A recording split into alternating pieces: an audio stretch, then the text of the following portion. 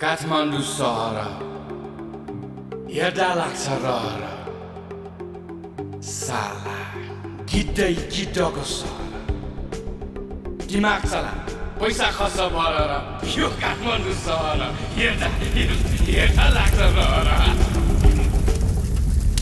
Hello सबैजनालाई फेरि स्वागत छ मेरो अर्को भिडियोमा। मौसम अझै पनि त्यस्तै छ एकदम डार्क डार्कवाला मुडी मुडीवाला म चाहिँ काठमाडौँ जाँदैछु। यान्जुकोटबाट पोखरा अनि पोखराबाट काठमाडौँ काठमाडौँबाट पोखरा पोखराबाट यान्जुकोट। योभन्दा अगाडि चाहिँ म कहिले गएको छैन काठमाडौँ त्यही भएर अलिकति नर्भस नर्भसवाला नि फिल भइरह। अहिले चाहिँ पानी परिरहेको छ त्यही भएर हामी चाहिँ यहाँ कुरेर बसेको छौँ गाडीलाई। गाडी आउने बेला भयो अब यताबाट।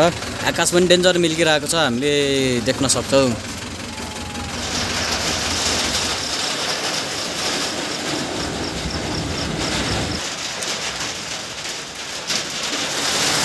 अहिले चाहिँ यो पानीले भयङ्कर रूप लिँदै गएको छ। गाडी अझै आएको छैन। त्यो असिना पनि परेको छ। फट्टाफुट्टी असिना। र यहाँ हाम्रो ट्रान्समिटर छ है। झ्यालाम झ्यालाम त मिल्किरह डर पनि लगाइरह तर आई होप गाडी चाँडो आउँछ होला चार हाम्रो गाडी आएको छ। गाडी त अलिकति ट्याक छ अहिले चाहिँ म गाडीमा चढिसकेँ। र भाइ चाहिँ उता अगाडितिर छ। त्यसलाई चाहिँ अलिकति गाडीमा चढ्दाखेरि अलिकति छात्ने प्रब्लम छ त्यही भएर चाहिँ त्यो त्यहाँ बसिरहेको छ। पानी परेर चाहिँ यो यता साइड सिनहरू खतरा देखेको छ। म चाहिँ अघि त्यहाँको सिटमा थिएँ त्यहाँको सिटबाट म यताको सिटमा आएँ। किनकि किनकि त्यहाँ चाहिँ अलिकति भिजे रहेछ कि त्यो सिट चाहिँ पानीले गर्दा त्यही भएर म यहाँ आएँ। र यो नै हाम्रो अन्तिम हरियाली थियो जुन हामीले हाम्रो यात्राभरि अवलोकन गर्न पायौँ। अहिले चाहिँ हामी पृथ्वी चोकमा आइसक्यो र अब हामी चाहिँ पाउने आठ बजेको गाडीमा काठमाडौँ जाँदैछौँ र गाडी नम्बर चाहिँ र हामी चाहिँ एक्कासी काठमाडौँ चाहिँ देखाउनेछौँ। त्यसपछि हाम्रो काठमाडौँको यात्रा सुरु भयो। म चाहिँ नाइट बसमा चाहिँ त्यति धेरै ट्राभल गरेको छैन। यो चाहिँ मेरो सेकेन्ड टाइम थियो। त्यसैले म पनि निदाएन अनि भाइलाई पनि निन्द्रा लागेन। र त्यही माथि हामी चाहिँ क्याबिनको सिटमा बसेको थियो र त्यहाँको मान्छेहरूले झ्याल नखोल्दाखेरि चाहिँ अलिकति। हावा खाना नपाए जस्तो भइरहेको थियो अलिकति सास फेर्न गाह्रो घुम्न गर्मी। र त्यसैले चाहिँ खाना खाने ठाउँतिर रोक्दाखेरि चाहिँ हामीले चाहिँ मजाले सास फेऱ्यो होइन।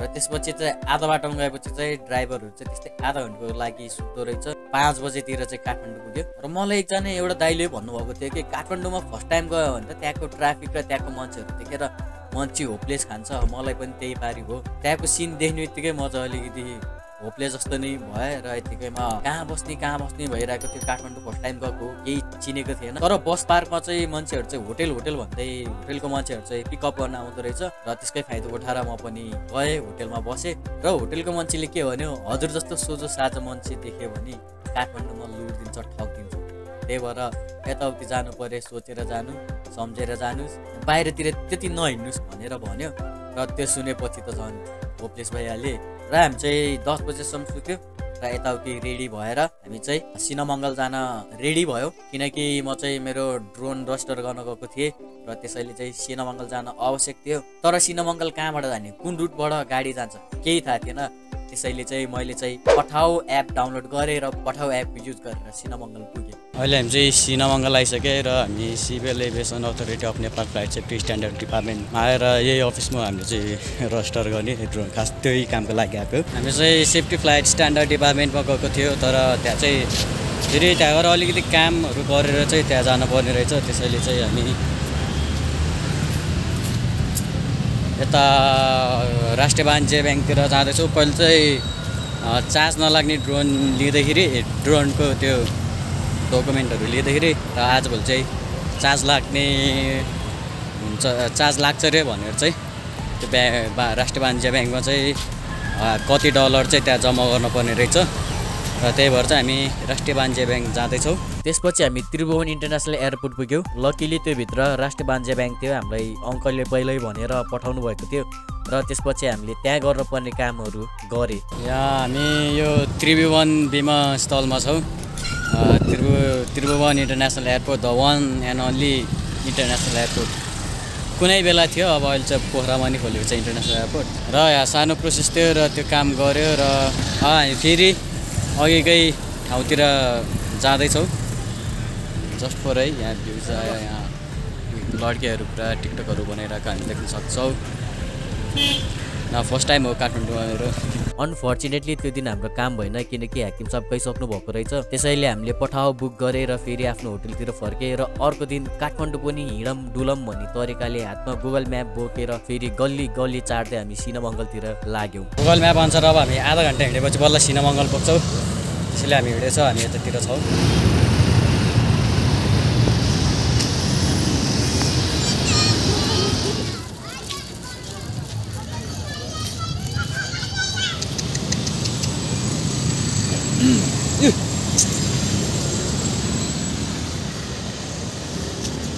पुग्छ क्या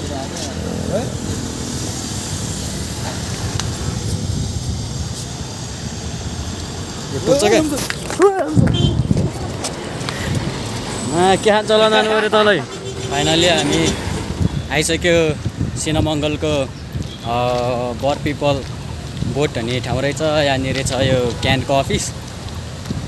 तर अलिकति पोल्युसन अलि धेरै रहेछ काठमाडौँमा। यो पुरै हिँड्दा हिँड्दा नेपाली पाउडर एकदम धेरै खाइसक्यो। र खुट्टा पनि डेन्जर है र त्यो दिन हिँडेर थाहा पायो काठमाडौँमा एकदमै धेरै धुलो र धुवा उड्दो रहेछ भनेर। म देशको लागि गोली खान तयार छु। तर काठमाडौँको धुलो खान तयार छैन। र दुर्भाग्यको कुरो त्यो दिन पनि हाम्रो काम भएन। त्यसको भोलिपल्ट हामी फेरि सिनेमङ्गल गयौँ र हामीले रिक्वेस्ट गऱ्यौँ कि प्लिज आजै गरिदिनु किनकि हामी त टाढाबाट आएको हाम्रो काठमाडौँमा कोही चिन्ने मान्छे पनि छैन।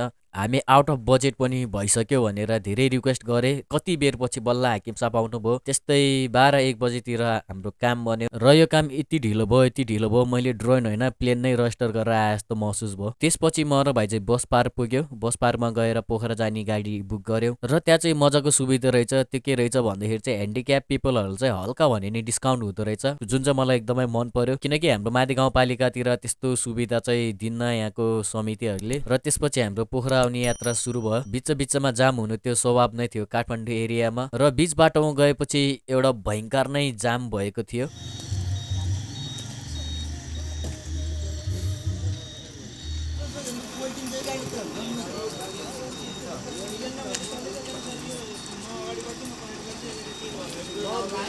गाडी हो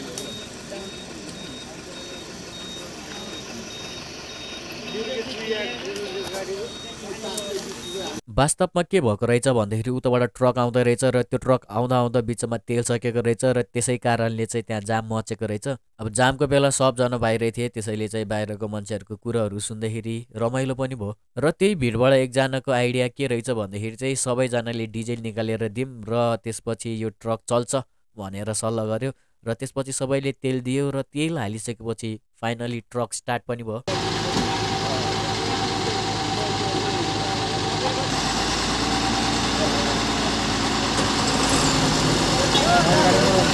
त्यो नै हाम्रो यात्राको अन्तिम जाम थियो र त्यसपछि अरू जाम हामीले फेस गर्नु परेन र त्यति भइसकेपछि हामी पोखरा आइपुग्यौँ। अहिले चाहिँ हामी काउँखोला आइपुग्यो र काउँखोलाबाट चाहिँ हाम्रो गाउँ जाने गाडी लाग्छ यहाँबाट जाने। र यहाँतिर चाहिँ एमालेको जुलुस चलिरहेको छ। जुलुस भन्नाले ऱ्याली सरी सरी जुलुस होइन ऱ्याली भोट भोट माग्ने ऱ्याली चलिरहेको छ। र एक्कासी गाउँ आइसकेपछि यो हावामा न धुलो छ न धुवा छ। त्यही भएर पो गाउँघरको हावापानी मनपर्छ मलाई। क्या फ्रेस छ? जे- जस काठमाडौँमा चाहिँ अलिकति गाह्रो हुँदो रहेछ। राम्रोसँग सास फेर्न मैले चाहिँ त्यो महसुस गरेँ। अब घर पनि आइपुग्यो। स्वागत पनि गरे। मलाई वेलकम वेलकम भने है यो कुकुर बच्चाले लिलीले। मजाले पुच्छराहरूलाई त स्वागत गरिरहेको छ। र यसले पनि स्वागत गरिरहेको छ मलाई।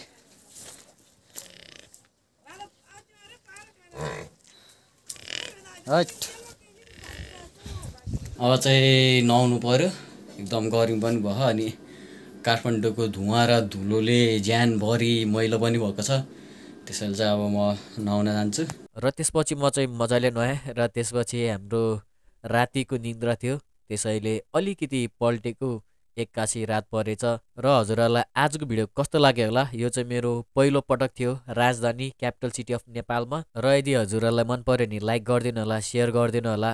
र फर्स्ट टाइम मेरो च्यानल हेर्दै हुनुहुन्छ मेरो भिडियो हेर्दै हुनुहुन्छ भने सब्सक्राइब पनि गरिदिनु होला। धन्यवाद। पर्खिरहेको अघि नबढी त्यहीँ बसिरहेको फसिरहेको खसिरहेको त्यही पनि राम्रो हलिरहेको अवस्थाकारसँग जुटिरहेको बेला बेला फुटिरहेको त्यही पनि गएको म ज्योतिको खोजी गर्न खाली छ गोजी भर्न मेरो यहाँ कसले मतलब साथी नि कोही छैन जाँदैछ एक्लै किनकि सबैको बाटो छ फरक हामी सबै एउटै तर